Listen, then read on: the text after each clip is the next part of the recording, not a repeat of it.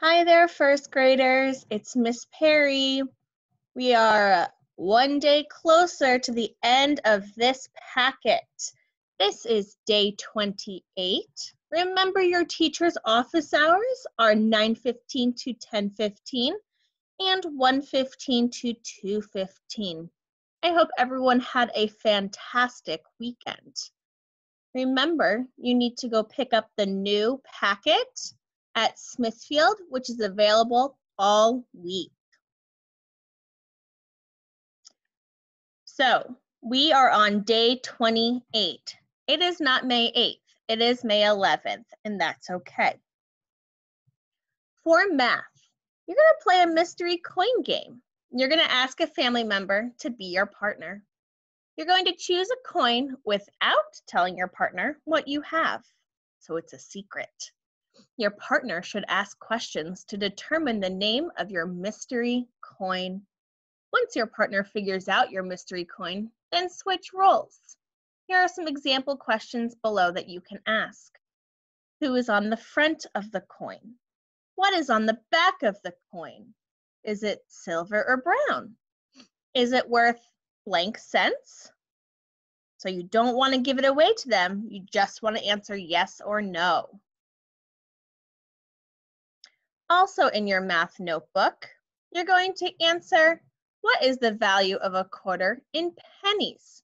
So how much is a quarter worth? And how many pennies do you need to make that? I've included a sentence starter. A quarter is equal to the value of blank pennies. And then it asks, how do you know? Again, your sentence starter is, I know this because. That should be done in your math notebook, and there should be a picture that goes to your teacher. For reading, you're going to watch the module video for day 28. This link will also be in the description below the video and in your daily dojo message. You're going to listen to the article, What's Best? The debate about pale male's nest. You're going to think and talk about the most compelling reason to leave the nest up. So we're talking about the bird watchers. You're going to write about the most compelling reason to leave the nest up. Write a draft of an opinion paragraph supporting the bird watchers. So here's kind of what it's going to be looking like. You're going to be using the opinion paragraph note catcher from day 25. That's further back in your packet. You're going to choose the opinion of the bird watchers and write why it's the most compelling. This means the best reason. So the most compelling means the best reason. You're going to write a paragraph. Now this sounds super tricky, but you can do it because you've already set up everything you need. So you're going to write a paragraph using your note catcher by pulling off the information and writing the sentences together. So I included that little side phrase of the opinion paragraph where you have your introduction, your opinion statement, your reason, and your conclusion. So remember the introduction, you're introducing what the topic is that you're writing about. Remember you're writing from the opinion of the bird watcher. Then the opinion statement is whatever you wrote that tells the reader the opinion of the bird watchers or what, what they think about it. Then the reason is coming from the text. So you're pulling something from Pale Male's Nest to back up what you think the opinion is. And then the conclusion wraps up your paragraph it ends your sentences. It tells the reader that you're done with that thought, and it reminds the reader of the opinion that you're writing about. So there are two parts to this. The first part says, what is the most compelling reason for keeping the nest up? So you're really picking out from the article what the most important reason is. What's the best reason? Your sentence starter is the most compelling reason to keep the nest up is blank because blank. Where there's yellow, that's where you add in your thinking. After you've done that, you're going to write a draft of an opinion paragraph to support keeping the nest up. So that's where your note catcher comes in from day 25. You're going to pull off your thoughts and make sentences. You should pause the video here so that you really understand what you're doing. Remember, you need to see your teacher at office hours if you're struggling with this because we are so ready as first grade teachers to help you do this. After that, you have your word work. There is a link for day 28 instructional video. The link is going to be in the dojo message and the description box. Remember, these videos do a great job of teaching the skill for word work. Today's activity for word work is super sentences. You're going to choose words from the cycle 21 word list that I've listed below and use them to write five first grade sentences. Remember to use a capital letter at the beginning of your sentence and punctuation at the end. Here are your words. You can pause the video here and pick five words from the slide.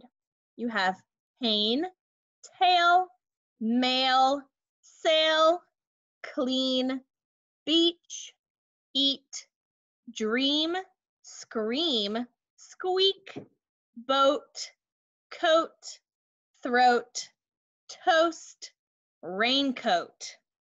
Whew, that was a lot of words. So remember, pause the video, pick five words. Remember, you're writing super awesome first grade sentences. We're going to go over that in the next slide. So I have to think to myself, how should my sentence look when I think I'm done? Hmm, I'm thinking I'm done, so I'm going to go through all of these points and see if all of my sentence follows it. The first one's easy. Do I have a capital letter at the beginning of my sentence? I hope so, because that's what a big first grade sentence has. The next one is, did I use punctuation at the end of my sentence? So did I put a period or an exclamation point or a question mark? Hmm. The third thing is, are my word list words and sight words spelled correctly? Oh my goodness. I sure hope that those are words that are spelled correctly. The fourth thing is, did I write a strong first grade sentence? Remember back in that other video how I wrote the black cat is eating or something like that? That's not a strong first grade sentence. A strong verse first grade sentence gives adjectives, it gives detail. You want to make it interesting so your first grade teacher wants to read it.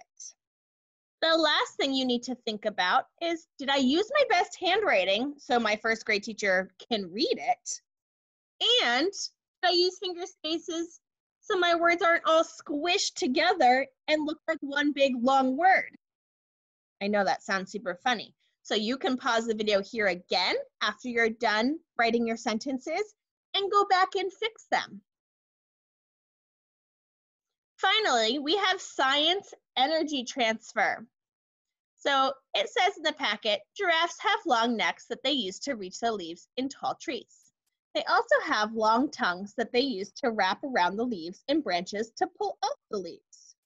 The question is, how many times a day do you eat to get energy? So a giraffe is so big that it eats all day long. You're going to use this information to create a food train, chain for a, a giraffe. So I've included a next example on the slide. So here on this slide, I have carrots that are growing they are taking energy from the sunlight. Now, when they take the energy to, from the sunlight, we're going to go to the second picture.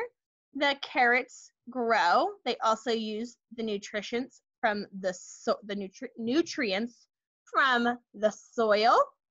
When they're done growing, there are people that like to eat carrots and bunnies like to eat carrots. Bunnies eat carrots to get energy as well. So there's a simple food chain of how the sun helps the carrots, the soil helps the carrots, The carrots help the bunny rabbit. Finally, you have specials. There are lots of options to choose from.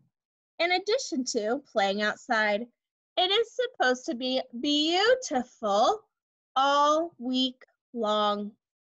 I can't wait to see some faces on Zoom this week. Remember, if you need help, especially with the writing assignment, please, please, please go see your first grade teacher at office hours. Have a great day.